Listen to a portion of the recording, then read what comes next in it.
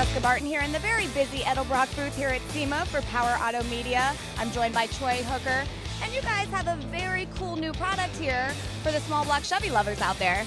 Yeah, we do. What we did is we took our very popular E Street EFI and we converted it into a crate engine. So you can get the power and performance that Edelbrock is known for in a complete package. Awesome. So let's kind of break apart the package here. Do you want to start maybe with the crate engine? Yeah, it actually starts out as a GM short block, and we put our top end kit on it, which consists of the E Street heads, intake manifold, and the E Street fuel injection. You know, I also want to talk a little bit about the cams. Yeah, that's true. We uh, we did a lot of development work, and we came out with a camshaft that uh, works great with uh, TBI fuel injection. It's not only with the Edelbrock, but it'll work with other manufacturers as well. Uh, the grind is tailored to work specifically for TBI fuel injection. All right, well, why don't you tell me a little bit about the technology involved in this EFI system? Well, the EFI system, we put a lot of time and effort in developing this. It comes with a programmable tablet that uh, it's all wireless Bluetooth capability and it talks to the ECU.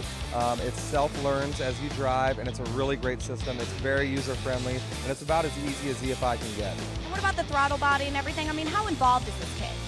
The kit is very complete. When you buy the kit, it comes with everything you need to put it on your car. You're not going to need to run to the auto parts store for anything.